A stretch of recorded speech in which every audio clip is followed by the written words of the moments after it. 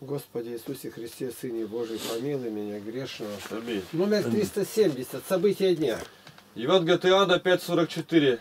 Как вы можете веровать, когда друг от друга принимаете славу, а славы, которой от единого Бога, не ищете? И главное, рецепта не дается определенно. Как ее не принимать славу-то? Это не подчиненность. Да и как это приятно человеку. Да и вроде бы, если когда все друг друга-то как уважают, тогда и в обществе порядок, никакой смуты нет. Но очевидно не об этом речь идет. То есть это все правильно. Но как совмещать с верой? Поэтому то, что сегодня прилепляют к церкви, обязательно идти, надо воевать, там убивать, защищать. Правильно все говорят, но при условии, что нет Христа, нет Евангелия. Любое событие нужно рассматривать во свете Библии. А если это не делается, значит, не тем путем идут люди. Просто нужно сказать, что у нас-то есть другой закон. Закон в каждой стране свой. И закон китайский многие из нас не знают, да и знать не надо, может быть. Пусть в Китае они исполняют. Но есть один закон, который исполняет все народы. Говорит Златоуст, и во все времена. Это евангельский закон. Те, которые стали христианами. Поэтому славу друг от друга принимают люди, желают ее, когда не знают закона Божия. А закон Божий это отрицает. Это за 16 декабря 2016 года. Еремия 13.23. Может ли эфиоплянин переменить кожу свою и барс пятна свои? Так и вы можете ли делать доброе, привыкнув делать злое? Иоанна 12.43. Ибо возлюбили больше славу человеческую, нежели славу Божию. Мне Владислав Марущак прислал, опять он много смотрит это. Прочитай тут. Владислав Это Марущак. В своей пасторской практике я не раз сталкивался со следующим явлением. Вот живет человек, жизнь его ровная и устроенная. Его вполне удовлетворяют купола и колокола, свечи, записки и молебны. Но приходит какое-то серьезное искушение, испытание, напасть внешнее, например, наркомания, алкоголизм родственников или внутреннее, охлаждение веры, душевная усталость, тот же алкоголизм и тому подобное. Человек обращается за помощью, разумеется, к церкви. И тут оказывается, что купола и колокола, записки, молебны, старцы и канавка не помогают. А ни к чему другому человек в церкви не привык. Ему не объяснили, что для церкви все это внешний антураж – действенный лишь постольку, поскольку он является выражением нравственного и духовного личного усилия по направлению ко Христу. Вот это, смотрите, как умно сказал-то. Поскольку вот это вот выражение человек без грамоты не может сказать. Он говорит правильно все, но как он выразил мысль свою? Выражением нравственного, духовного, личного усилия. Но нет этого ничего. Да вера есть или нету. Есть Дух Святой, который побуждает или нету. Вот это вот все тьма не египетская, а академическая, напущенная. Человек даже не поймет, кто на ком стоит. Не объяснили вовсе не по злонамеренности какой, а потому что главенствующее значение в современной церковной идеологии у многих пастырей в огромном количестве церковной литературы имеет именно лубочное, псевдоцерковное христианство. Значит, не у меня псевдоправославие это, а в церкви лубочная, псевдоправославная, псевдоцерковная. Как всякая неправда при столкновении с реальностью, такое христианство терпит фиаско. Люди разочаровываются в церкви, отходят от нее, что мы наблюдаем не только в личной жизни многих христиан, но и в масштабе исторического процесса. Дальше диалог. А покропите на батюшка квартиру святой водичкой, чтобы все грешное ушло. А сами-то где жить будете? Это говорю, Архимандрита вакуум наведел. Ну сейчас вот крайне контур нажать, и сюда я ткну, где это будет. Чтобы узнать, где это, откуда взято. Ага, вот оно где. О лубящем христианстве, то игумен Петр Мещеринов. Что тут написано? Написано... Из... Может маленько прочитать? Ну-ка. Из письма в редакцию. После прочтения... Мы можем это увеличить вот так вот взять и выделить. Маленько просчитаем. э, дальше Shift нажимаю, в конце щелкну. Все выделилось. Ctrl-S. Ctrl-S сделал. Теперь это все убираю. Отдельную тему можно сделать. Открыть в Word страничку. Ctrl-V. Ну вот оно тут теперь пришло. Теперь это подается нам, можно увеличить номер, сделать вот так. Ну еще раз. Мы можем даже сделать жирным. Ну и как теперь? Можно снимать будет лучше. Попробуем сейчас. Важное дело, говорит. Так, Так. из письма в редакцию. После прочтения в газете «Церковный вестник» статьи отца Петра Мещеринова о повседневном миссионерстве. Хочется обратить ваше внимание на ряд положений, с некоторыми из которых, на мой взгляд, очень трудно согласиться. Например, в разделе «Христианство лубочное и подлинное» написано Вообще нужно учитывать, что образовательный и интеллектуальный уровень современного человека довольно высок, и его вряд ли может удовлетворить сюсюканье о Боге и церкви на птичьем языке. И ворох сомнительных историй, неизвестно откуда взявшихся. Вопрос. Выделенное мною совершенно немыслимое словосочетание – это что? Новое слово в нашей православной богословской науке. А лубочное христианство – это некая современная ветвь в нашем православии – Видите как, кого-то задел он. Это редкий случай, чтобы люди так открыто говорили, как Петр Мещеринов. До сих пор были известны такие понятия, как лубочная живопись или лубочная литература, но лубочное христианство, как мне представляется, здесь, мягко говоря, перепутаны такие понятия, как лубок, это означает примитивизм, и фольклор, устное народное творчество, что присуще нашему мудрому русскому народу. Лидия, прихожанка храма Вознесения Господня у Никитских ворот, статья игумена Петра Мещеринова о повседневном миссионерстве ЦВ номер, Церковный вестник. ага, номер 6, 2005 год, вызвала оживленную дискуссию среди наших читателей. Один из откликов, который редакция получила от прихожанки храма Большое Вознесение в Москве, мы передали отцу Петру с просьбой дать к нему свой комментарий. И поставленные вопросы и ответ показались нам достаточно интересными, чтобы представить их всем читателям церковного вестника. Оставив в стороне филологические изыскания. Явление, которое я назвал лубочным христианством, присутствует в нашей церковной жизни как факт. Оно связано с неверным восприятием церкви, при котором игнорируются два основных принципа церковной жизни – христоцентричность и синергия. Вот догадайся. Ну, ну в основном-то люди-то что знают? Христоцентричность и синергия. Что, снегирей ловить? Простынешь, будешь тут сопливиться. Христианство имеет определенную иерархию ценностей, и главное в нем сам Христос. Его божественная личность, Он есть альфа и омега, начало и конец. Откровение 1.8. Он есть путь, истина, жизнь и воскресение. Иоанна 14.6, 11.25. Для верующего Христос это все, преподобный Марк Подвижник. Цель жизни христианина – соединиться со Христом, жить им и с Ним, и в Нем обрести спасение и мир, счастье и бессмертие. Ой, как здорово. Именно для этой, ни для какой иной цели Бог основал на земле церковь, в которой через таинство Духом Святым и происходит приобщение верующей души Христу Господу. Церковь не просто средство индивидуального освящения человека.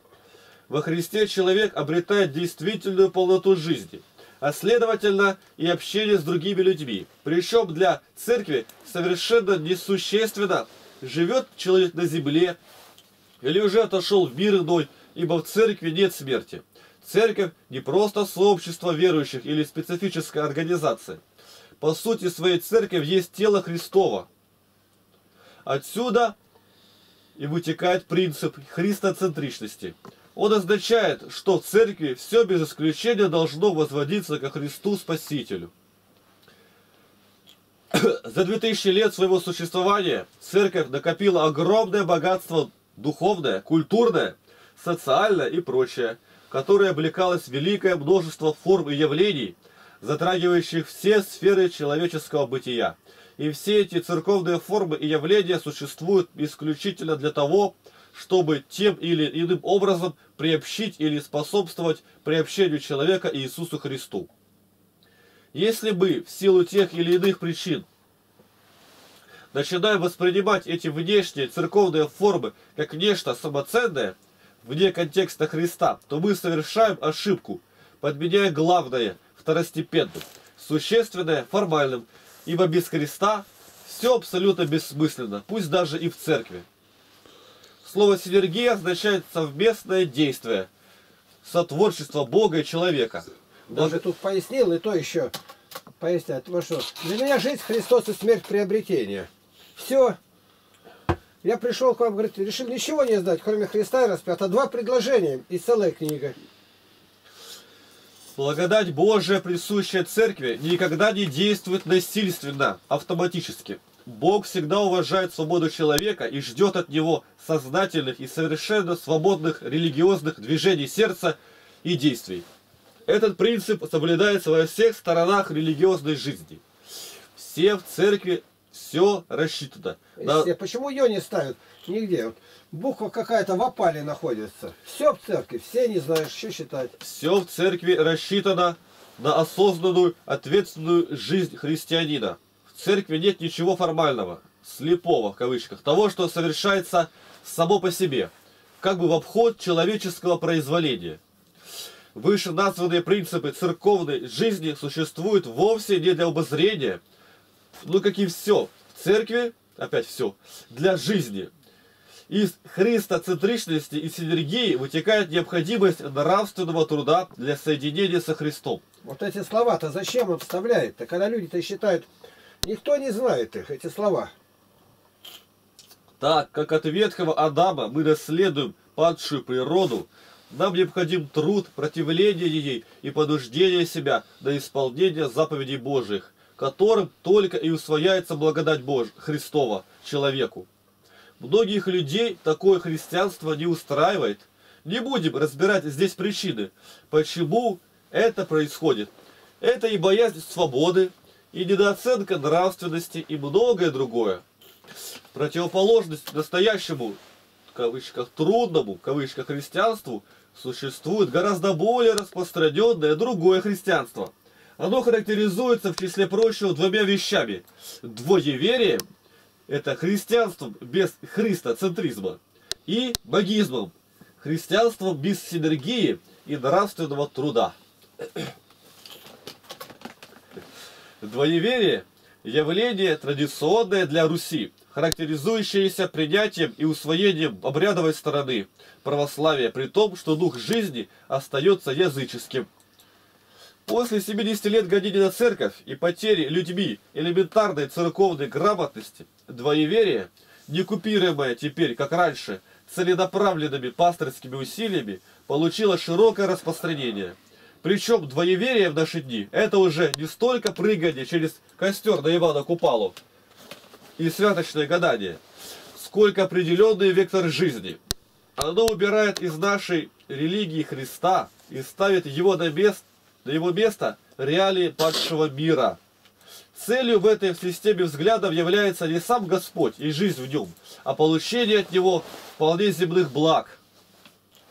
Сам же Господь и его заповеди никого не интересуют. Интересно, что и сами церковные формы сами при этом теряют свою целостность и становятся какими-то полуязыческими.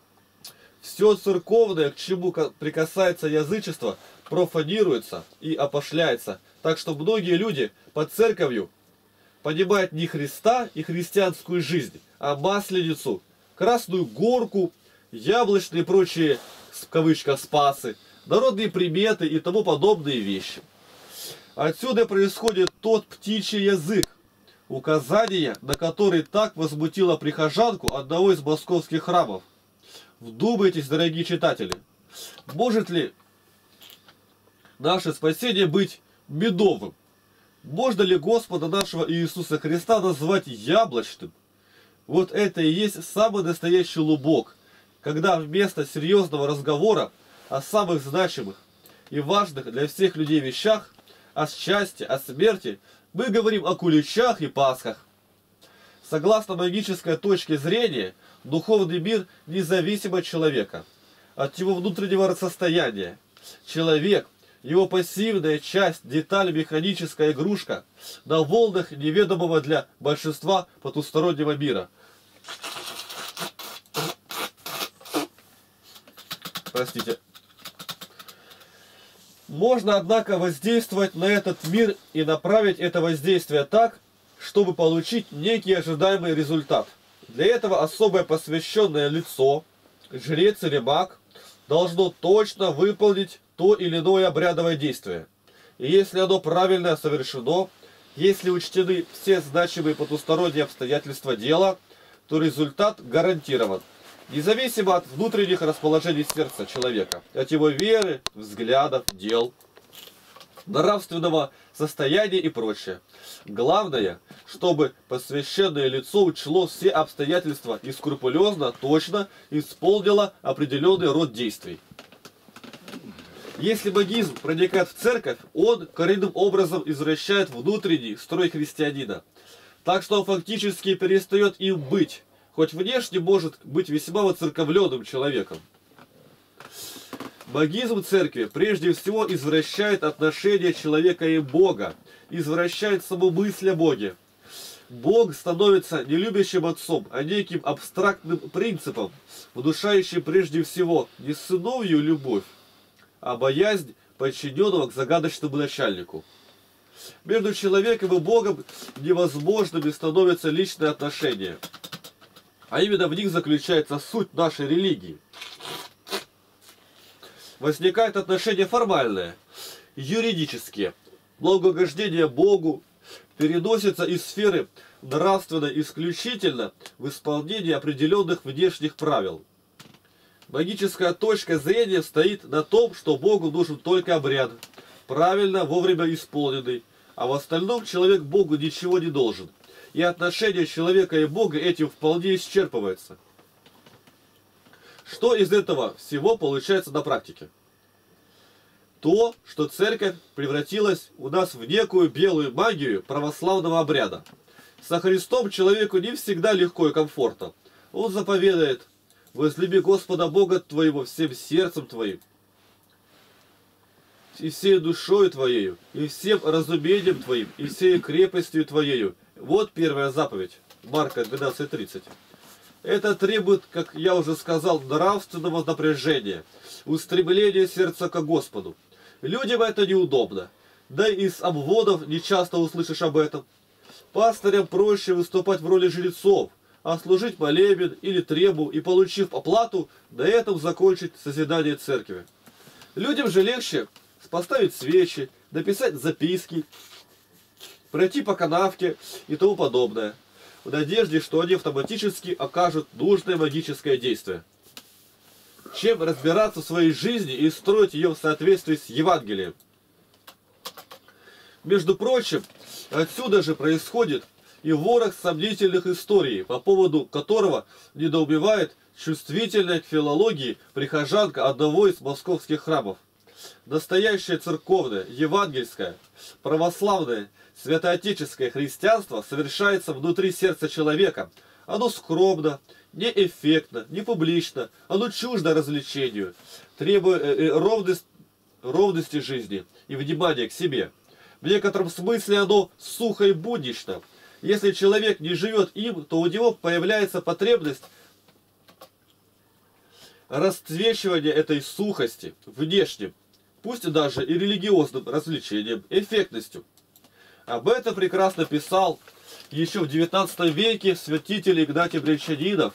Отсюда чудеса, знамения, пророчества о конце света, поиски старцев и старец, дешевая апокалиптика, национализм и прочее. И все это тоже вполне подходит под определение лубочности.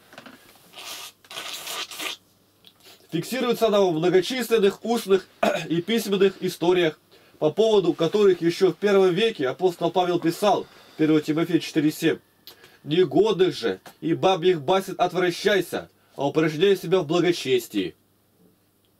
Итак, на основании вышесказанного определим, лубочное христианство – это профанация, внешнее без внутреннего, христианство без Христа, церковная жизнь без нравственного духовного труда. В чем его главная опасность?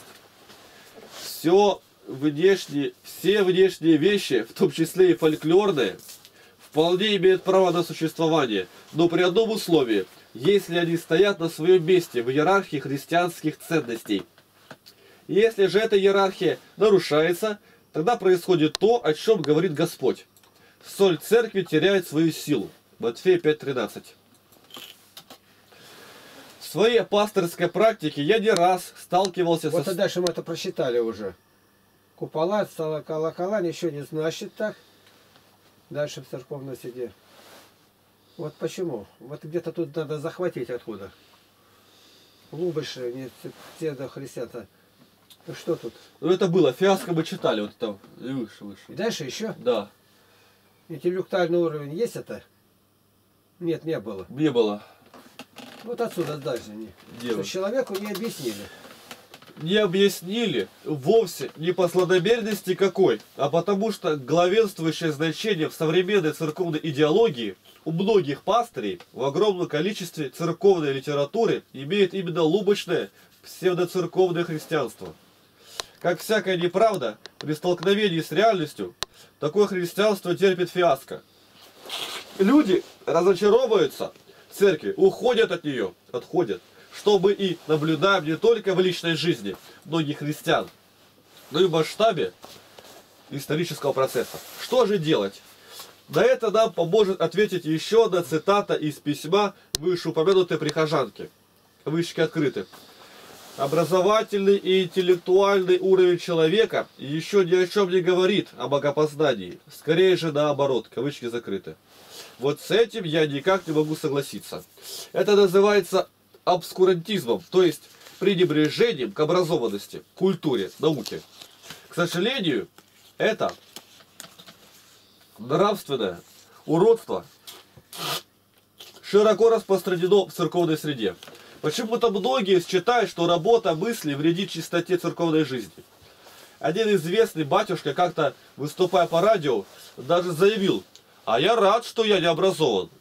Святые отцы, что еще нужно для христианина? Но как раз святые отцы все были образованнейшими людьми своего времени, отличавшимися помимо святости и духовности высочайшим интеллектуальным уровнем. Церковь создала великую культуру, философию, науку. Обскурантизм же не может ничего создать. Будучи по природе явлением маргинальным, он может лишь все законсервировать и в конечном итоге низвести действительное богатство церкви до уровня лупка. И ответ на вопрос, что делать, лежит именно в этой плоскости. Интересно. Петра спрашивали, Деяния апостола, 2 глава, 38 стих. Что делать? Ну, он бы вот это вот все раскрутил бы здесь. Синергизм. Нет ничего, просто ответил. Покайтесь. Покаяться во всем. И в этой грамотности. А грамотность для чего? Чтобы научиться врать. Так, чтобы самому в это верить. А потом, и до крестится каждый за своим Иисуса Христа. А для чего это все? Получить Духа Святого. И получить Духа Святого. Вот это стяжание Духа Святого. А какое образование у Серафима Саровского? У Сергия Радовича. Все высокий уровень. Какой уровень? У Ефрема Сирина уровень. Из пустыни не вылазили. Сидели. Какой уровень? Ну, есть такие, которые действительно, как Златоуст был. Считаем Иероним Стридонский. Ну, ну и что дальше? И ответ на вопрос, что делать, лежит именно в этой плоскости. Образовываться, усваивать знания и культуру, осмыслять современность с евангельской и церковной точки зрения и перестать смотреть на мир сквозь узкую щель лубочного мировосприятия. Ну, может быть, дальше что-то есть, но больше пока ничего нет. Вот нашли здесь Мещеринов. Вот. Так, что такое? Мещеринов, напиши мне, я его сохраню.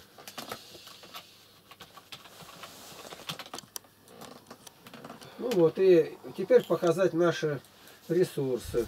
Вот это можно закрыть. Вот главный ресурс у нас это мой мир. Что-то тут вот зашел человек, пока я говорил. Что он пишет? Ну-ка прочитай. Роман Кучма. Мир вам, дорогой Игнатий Тихонович. Хорошая школа у вас. Основание непоколебимо, потому как основано на Священном Писании. Очень я благодарен вам за то, что научили меня ценить и любить Библию. В прошлое воскресенье священник на проповеди Самвода сказал, разбирая притчу о милосердном самарянине, что священник и левит поступили правильно, пройдя мимо, так как им нельзя было прикасаться к мертвым. Иначе они считались бы нечистыми и не могли служить череду. Да, да главное, раненого от мертвого не отличили даже. Ну, ногой бы тронул или как-то. Ну, он стонал, лежал. Правильно поступили. Вот защита своего класса. Да. Я открыл Евангелие, дождался его, попросил дать подтверждение, в кавычках, мертвенности избитого, показывая, что написано «Самарянин сжалился», Лука 10.33. Соответственно, те двое не сжалились. На что он сказал, что вроде так говорит Иоанн Златоуст. О, вроде. Вроде Володя. А Володя еще скажет.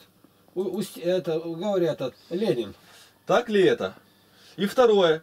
Этот священник также сказал Самвона, что Ирод поступил сто процентов по совести, обезглавив праведника, так как он дал слово.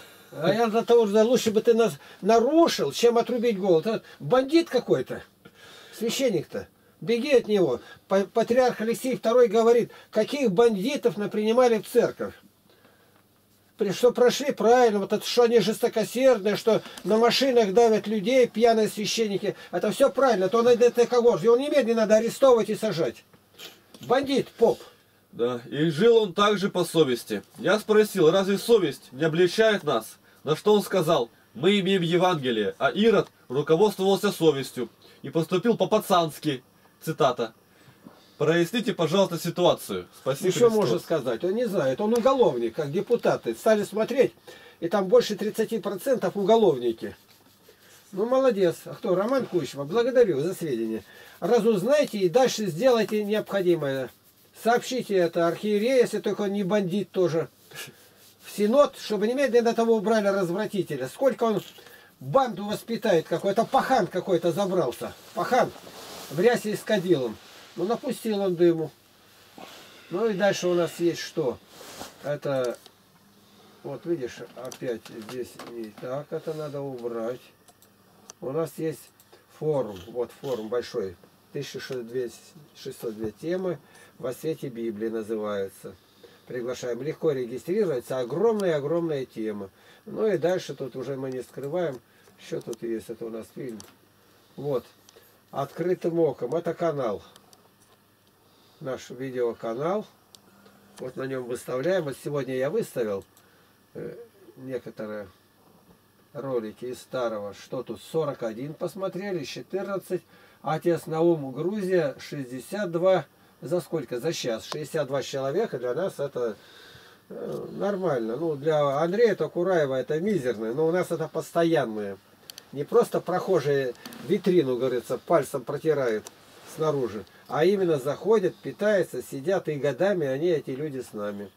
Ну и самый, можно сказать, богатый ресурс, это сайт во свете Библии. Вот он, православный библейский сайт. И здесь самое-самое, это 4124 вопроса и ответа.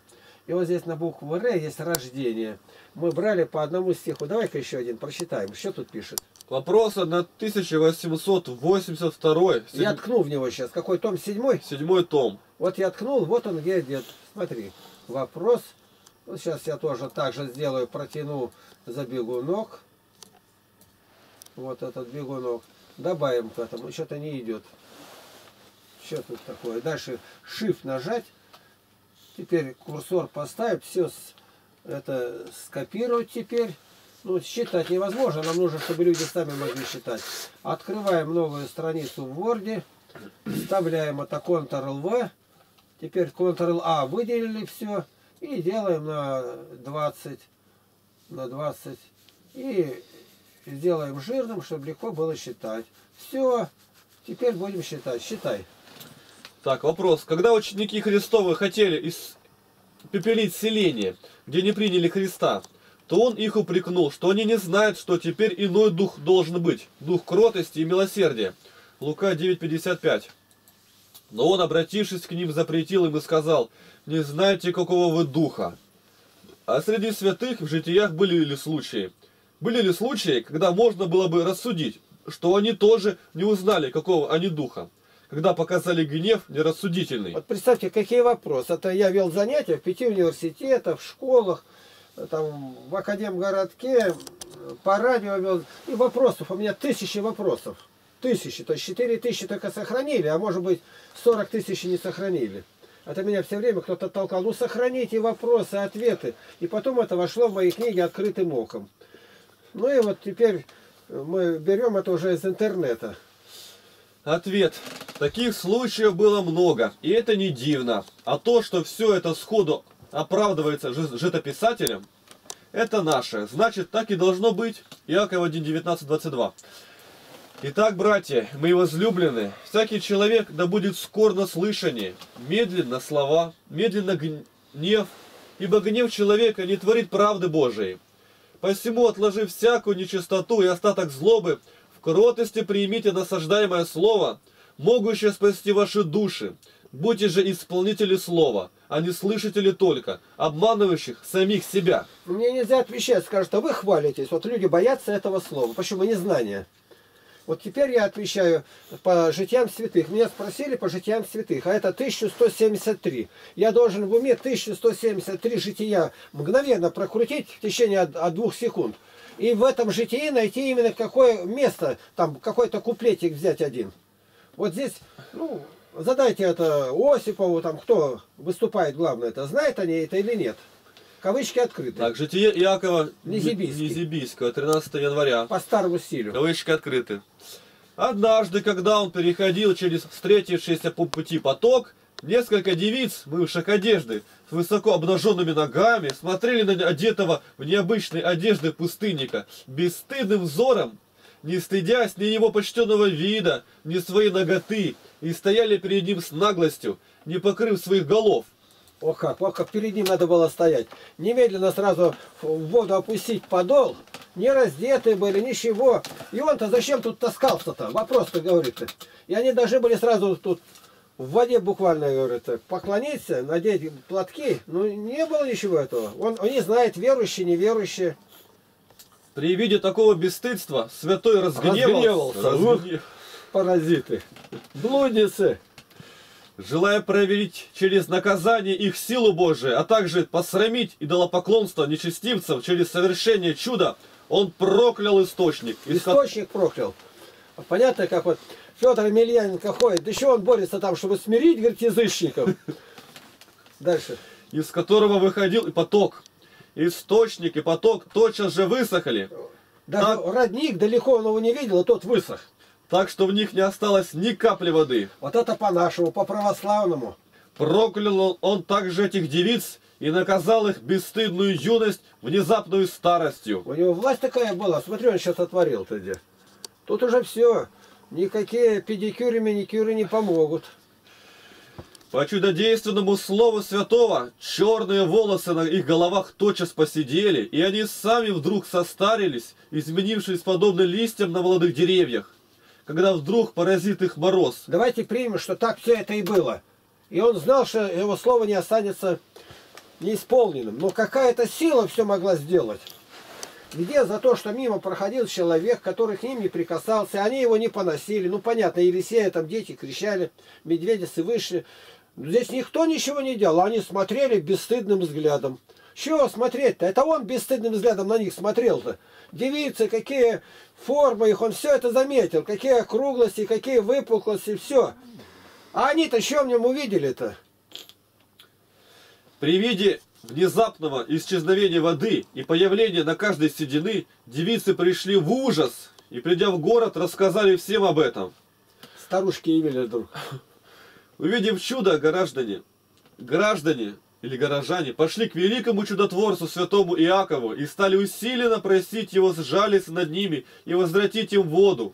Ну, если он был здесь, за скалеву, скорее проскользнул, и духу его не было. Это Арсений где-то шел когда-то. И прикоснулась одна какая-то, э, выговорил. А она ему сразу и отбрила, говорит, ты что ты шляешься здесь? Залез топором, идешь, к тебе не прикоснись. И он удалился, говорит, вот хорошо на меня отбрила-то, говорит. А здесь не так. И притом Дмитрий Тарастовский писал, это в кавычках все. Ну спроси, знают люди про это житие, что не печатаете сегодня-то? Кого он привлек? Обратил к Богу? Просьбы их тронули То есть святого. он никуда не ушел. Он знал, что сейчас люди будут паниковать в городе, прибегут к нему и туда будут ходить на поклонение. А он там иорданки устроит. Он помолился Богу, и источник снова наполнился водою, и по-прежнему стал течь поток. Все пошло дело. Волга, Волга. А мне уже, говорит, 70 лет. Вот где, говорит, а я, мне опять 17 лет. Это Зыкина поет, она про этот случай поет. А мне 17 лет, и теперь уже опять вернулись на это. Народ просил святого, чтобы он помиловал также девиц, и вместо преждевременной старости снова возвратил им молодость.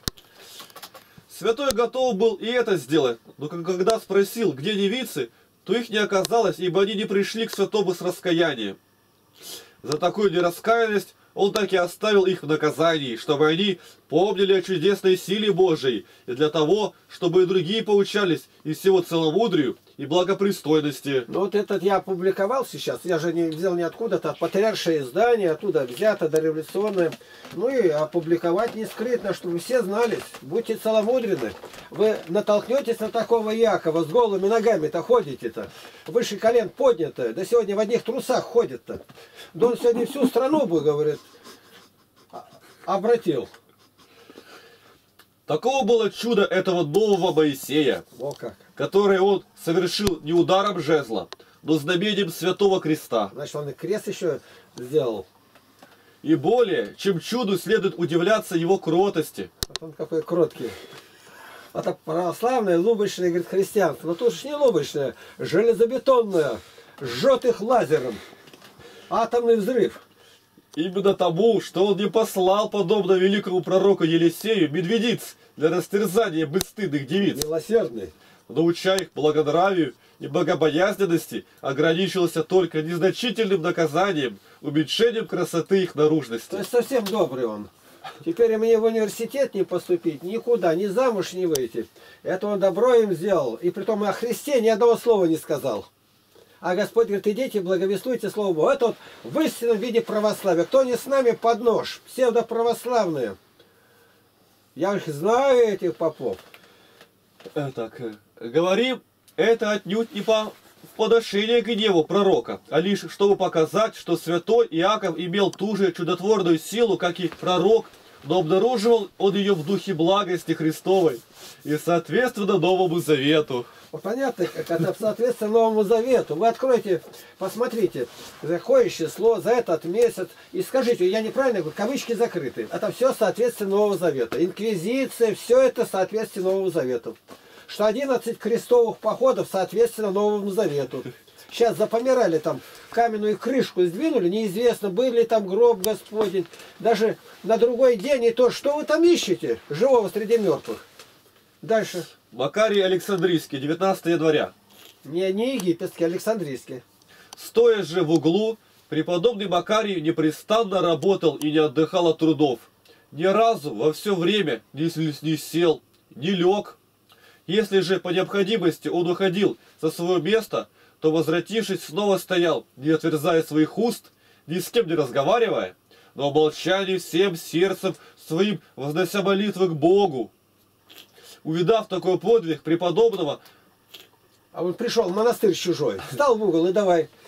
И главное, неделя прошла, ничего не ест. Но чтобы, говорит, не подумали, что это ангел. Он сухие капустные листья.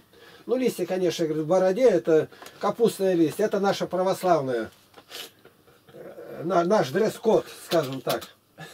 А монахи местные смотрели, а кто такой, не пьет, не ест. Да это, это не человек. Что они делают? Смотри. Увидав такой подвиг преподобного, подвижники того монастыря разгневались на своего Аву и стали говорить ему, «Откуда ты привел к нам, к нашему посрамлению, такого бесплотного человека? Или его удали, или мы уйдем из монастыря». Вот понимаете, состояние людей. Оставили жену, детей, бежали, все.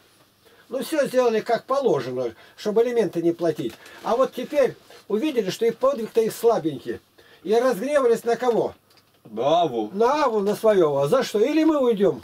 Это железный характер у людей. А что он сделал тут? Ничего не делал. Просто молился. Вот почему, когда наш митрополит Иларион здесь встретился, здесь был у Сергия, Алтайский край, Сергий, митрополит Иванников. И он наш, э, нашему митрополиту, это тоже наш митрополит, я и обоих считаю свою. И говорит, на Игнатия разные говорят, говорит, там и сектантом называют, и все. Почему? Потому что завидуют, говорит. А почему? Потому что сами ничего сделать не могут. Я когда считаю, мне это близко, я насчитывал жития святых, Симфонина, знаю, дальше. Семен Столпник, 1 сентября.